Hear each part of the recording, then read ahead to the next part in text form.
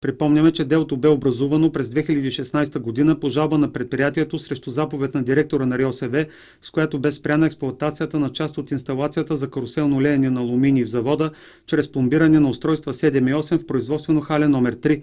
Днес бяха изслушани заключенията на вещите лица по назначената от съда техническа и екологична експертиза.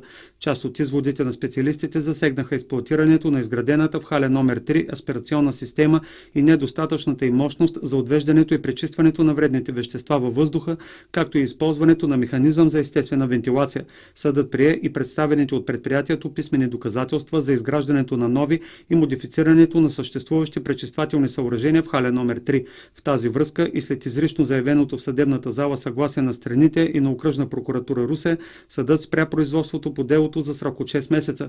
По време на заседанието страните заявиха намерението си да сключат споразумение, с което да решат окончателно спора, като най-добър консенсусен вариант в полза на обществото и за опазване на околната среда и чистотата на атмосферния въздух.